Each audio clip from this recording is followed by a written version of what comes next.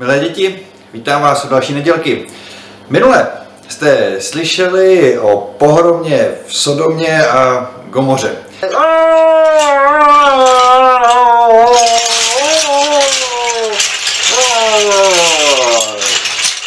Ale hlavně jste slyšeli o záchraně Lota a jeho rodiny.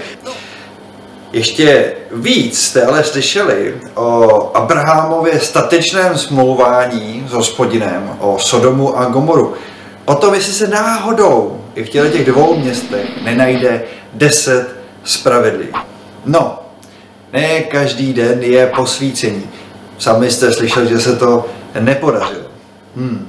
No jo, co se dá dělat. Ale Lot byl zachráněný a Abraham si tak mohl oddechnout, že aspoň toho svého příbuzného kamaráda, bratra ve víře, zachránil. Co vás čeká dneska? Inu, ne každý den se Abraham probudil s tím, že vykoná nějaký hrdinský čin. Dokonce se stalo, a o tom to dneska bude, že se jeden den zachoval jako dost velký, no já se to nebudu říct, jako dost velký trouba.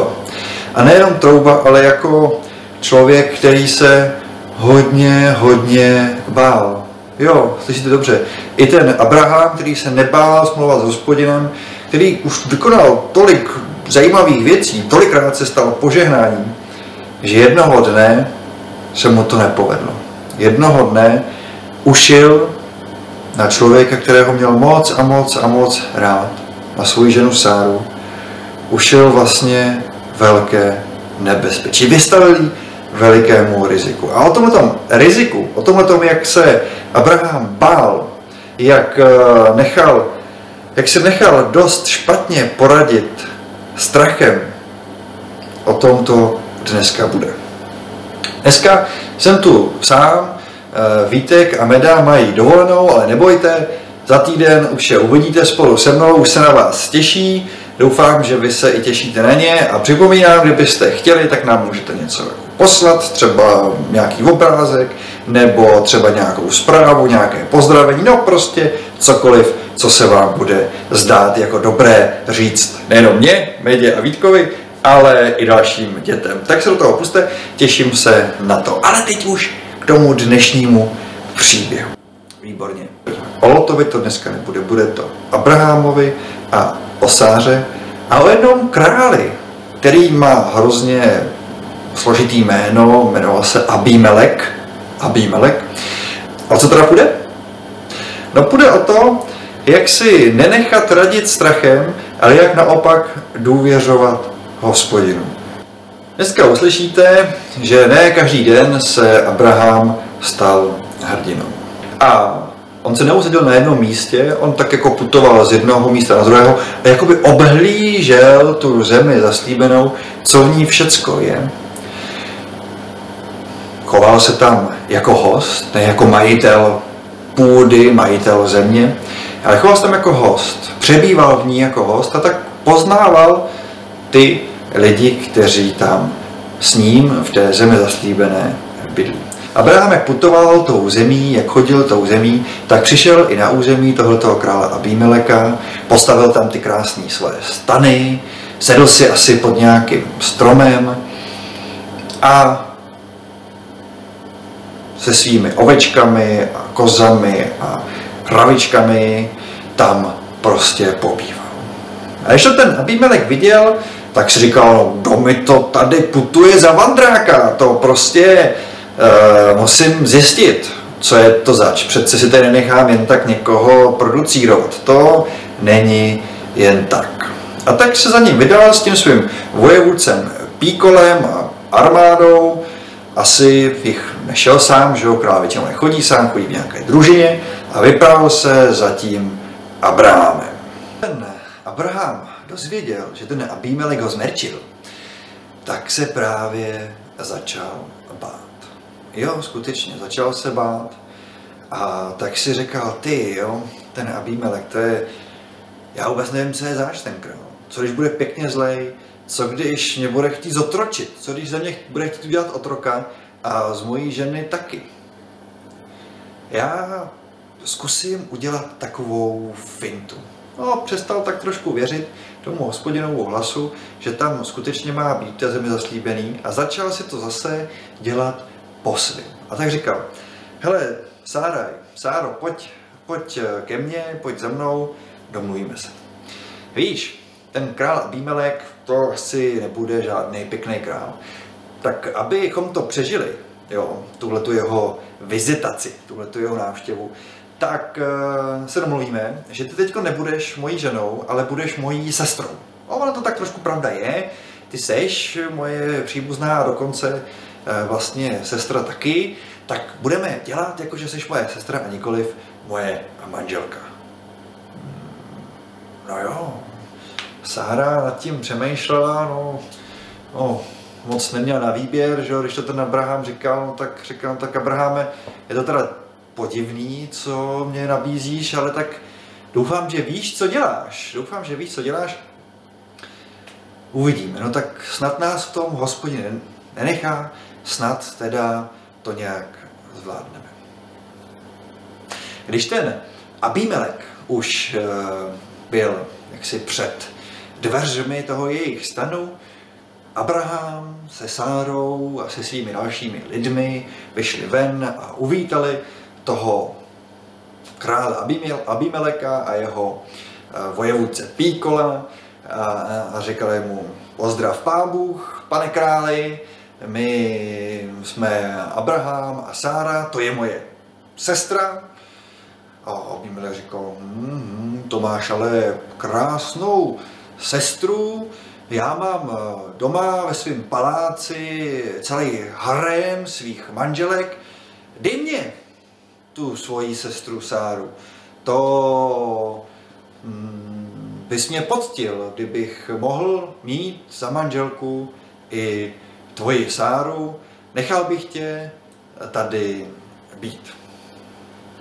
No, Sára v obličeji celá zesinala, Abraham taky celý zesinal, byli eh, podobní té Lotově ženě eh, u Sodomy, skoro se proměnili v solní sloupy a jenom tak eh, začal ten Abraham koktat, jakože teda, jakože teda, teda jo, když se to teda, pane králi, přejete, tak teda si tu moji sestru Sáru teda do toho vašeho paláce vezměte. Abraham se k té své ženě Sáře neznal. Normálně ji nechal odejít s tím Abimelekem do paláce, do haremu. No teda, co byste dělali, kdybyste byli tou Sárou? Bylo by vám to, věděli byste, co dělat vůbec? Já se teda přiznávám, že teda nevím, co bych, kdybych byl tou Sárou, co bych dělal. Sáře nezbývalo než jít a Abrahamovi nezbývalo nic jiného, než se modlit, jestli i tohleto dobře dopadne. Tak jo, Abraham zůstal u toho svého stanu, modlil se tam a Sára jede průvodu toho krále Abimeleka jako nová trofej do jeho harému. Hmm. To je teda šlamastika. No doufejme, že to tak hospodin nenechá, protože jestli nechá, tak teda z toho zaslíbení pro Abrahama a Sáru, že se jim narodí nějaký potomstvo, vůbec nic nebude. Maximálně bude potomstvo z Abimeleka a Sáry. A to si hospodin přece nepřál to přece neslíbil. No tak doufejme, že hospodin je, je zrovna jaksi doma a dívá se na ten svět tehdejší i ten dnešní a nenechá to jen tak být. A skutečně nenechal. Představte si, že když ten Abimelek dorazil domů a chystal se, že eh, prostě si sedne se svojí ženou novou ženou Sárou a že se poznají, tak si představte, že se mu udělalo nějako nevolno. No, začalo ho nějak bolet tělo, začal být nějaký unavený Dokonce se v celém tom jeho království eh, přestali rodit děti a vůbec začaly dít takový zvláštní uh, divy, že ten Abimelech vůbec neměl chuť se bavit se svou novou ženou Sárou, vůbec jí neměl chuť jak si poznat nějak víc a naopak si šel lehnout, protože mu fakt nebylo vůbec dobře. Jakoby dostal nějaký, eh, no já nevím co, nějakou nemoc. Tak, tak si šel ten Abimelek lehnout, říkal tomu svýmu vojevůdcovi Píkolovi, Píkole, prosím tě, hlídej tady palác, já se musím jít oddechnout, mě je totiž pěkně zle. No tak Píkol stojí před dveřma a hlídá Abimelekův Abimelekovo dobré spaní a Abimelek spí a zdají se mu sny. No, jeden sen se mu zdá pořád do kolečka, pořád se mu točí v té hlavě, jako by mu nějaký hlas, a my už asi tušíme, jaký hlas, ano, tenhle ten hlas, jako by mu tenhle ten hlas říkal, Abimeleku, Abimeleku, té ženy, Sáry, se nesmíš ani dotknout. Jestli ty se jí dotkneš, tak porušíš manželský slib. Ta Sára není sestrou Abrahama. Ne, ne, ne, ne, ne. Ona je jeho manželkou.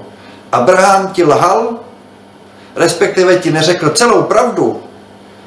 Ty se té ženy Sáry nesmíš ani dotknout. Naopak, vrať Abrahamovi Sáru hned ráno, hned jak se probudíš, vybětí ze svého harému a vratí Abrahamovi zpátky. Tohle to nejde, tohle to jsem si nemyslel, tohle to jsem nezaslíbil nikomu. Abraham udělal chybu, protože se bál a strach není dobrý rádce. Abraham ho neměl poslechnout, měl mě důvěřovat, mě hospodinovi, že i z téhle situace ho dostanu. Abimeleku, já ti povídám, jakože se Abimelek jmenuješ, že já jsem ten hlavní král, ten jediný král, vrať Sáru Abrahamovi do jeho stanu.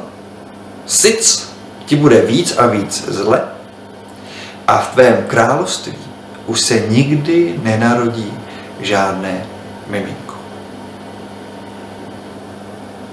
Abimelek se probudil z tohoto zvláštního snu. Probudil se úplně celý spocený. Vůbec nevěděl, co to bylo za hlas.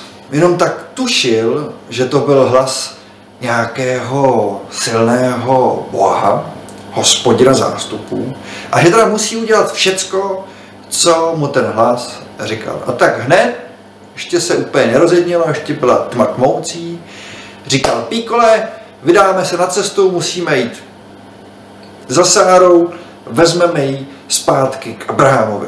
Nemůžeme si tady nechat. Sára není sestra Abrahamova, Sára je jeho žena. A nesmíme uh, porušit slib manželství. To se nesmí, to se nedělá. A tak jo, tak ještě před rozbřeskem jdou Abimelek, Píkol, Sára a družina královská za Abrahamem. Kránu dorazí před jeho stan, bouchají mu na dveře. Abrahame, Abrahame, vstaň, ty jsi nás podvedl, ty jsi nám říkal, řekl hroznou věc, ty jsi nám řekl, že Sára je tvá sestra a nikoliv tvá žena. Musíš ji přijmout zpátky a my se ti omlouváme. Vůbec nevím, proč jsi mě takhle podvedl, vůbec nevím, proč to udělal, ale já jsem král spravedlivý, král, který ví, co je dobro a co je zlo, co je zlé a co je dobré. Já vím, co se sluší a patří, já ti Sáru vracím. No, Abraham znovu začal koktat a říkal, krále Abimeleku, krále Abimeleku, já se ti hrozně moc omlouvám. Ona, Sára opravdu je má, taky má sestra, ale nevlastní sestra, ale máš pravdu, je to v prvé řadě moje manželka, kterou miluju, kterou mám hrozně moc rád a kterou bych v životě neopustil. A jenom kvůli tomu hroznému strachu, který jsem kvůli tobě, kvůli tvé návštěvě měl, jsem udělal takovou velkou hloupost. prosím tě za odpuštění a prosím za odpuštění i Sáru, i hospodina a děkuju, že jsi takový spravedlivý a děkuju hospodinu, že tuhle tu situaci takhle napravil. Dobře to dopadlo. A nejen to, eh, hospodin znovu uzdravil Abimeleka a znovu uzdravil i to jeho království, se tam znovu začaly uh, rodit děti. Všecko vypadalo dobře a dokonce ten Abimelek, když uh, se bavil s tím Abrahamem a zjistil, že Abraham není zlý člověk, ale naopak je to člověk, se kterým přichází boží požehnání do jeho země, tak tomu Abrahamovi řekl, Abrahame, podívej se na tuhle tu velkou, širou zemi. Je opravdu veliká a je v ní dost místo pro nás, pro oba. A tak se rozhlédni, kde chceš pobývat a buď tady. Buď tady se mnou a neboj se ničeho. Já sice úplně neznám toho tvého Boha, toho tvého hospodina, ale bázeň Boží znám a znám, co se sluší a patří. A sluší se a patří se přijmout také hosty, kteří do mé země přijdou a chtějí tady být požehnání. Ta studna se bude taky jmenovat studna přísahy, jakože my dva jsme se tady domluvili na něčem důležitém, na něčem, podle čeho budeme společně žít a vycházet. Abraham se v té Beršebě, téhleté studny, usadil, vysadil tam takový krásný strom, jmenuje se Tamarišek, a vzýval tam hospodinovo jméno za to, že ho i z téhleté šlamastiky vysvobodil. Taky se trošku asi styděl, že vystavil tu svoji ženu Sáru takovému nebezpečí. Že s ní zacházel jako s majetkem, který klidně daroval místnímu králi. Ale možná o to víc teď důvěřoval hospodinu, že ho z té jeho nepříjemné situace vždycky vysvobodí. A nejen to, že mu splní i to zaslíbení, které Abraham dostal.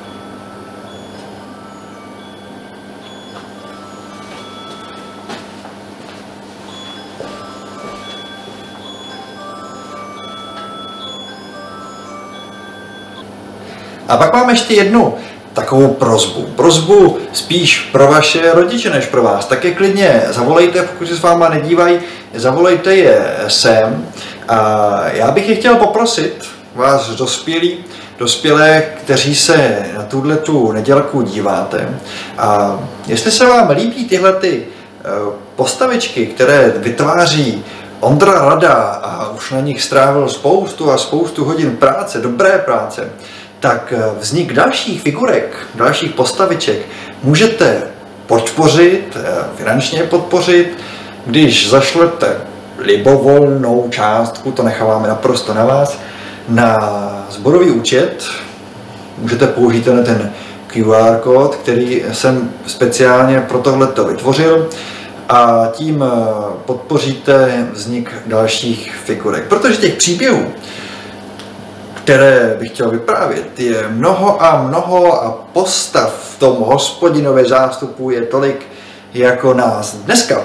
Tak budu rád, když eh, podpoříte Ondrovo úsilí o co nejkrásnější ilustrace a co nejkrásnější tím pádem i nedělkový program. Tak vás zdravím všechny děti i dospělé, mějte se dobře, přeju vám krásný den i krásný týden, ničeho se nebojte, nenechte si radit strachem, který nebývá dobrým rádcem, ale naopak buďte zvídaví a kurážní, jak to říkal Komenský.